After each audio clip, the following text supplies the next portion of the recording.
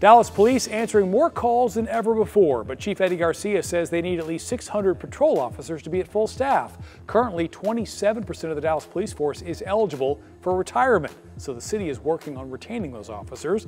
They're offering them 28 years or with those with 28 years or more experience an extra $40,000 to stay an extra two years.